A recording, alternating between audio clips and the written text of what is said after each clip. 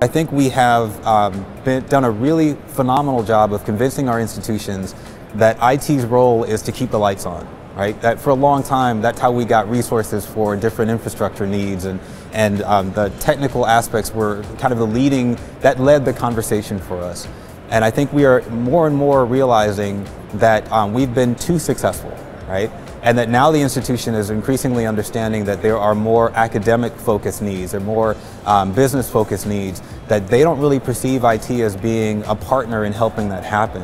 And now with the evolution of cloud services and alternative sourcing strategies, how many, mark, how many times have I read marketing material that starts off saying, you don't have to go to IT, right? We can do this directly with you. IT doesn't really have to be involved. You know, nine times out of 10, that tends not to be true.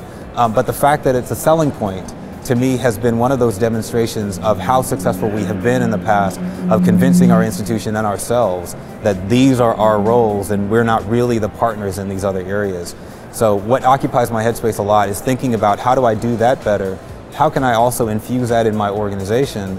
And how do we prepare those next generations of leaders? I'm, I still smile when I say that phrase, right? Because I still think of myself as one of those young leaders, right? Though the gray in my beard starts to say otherwise.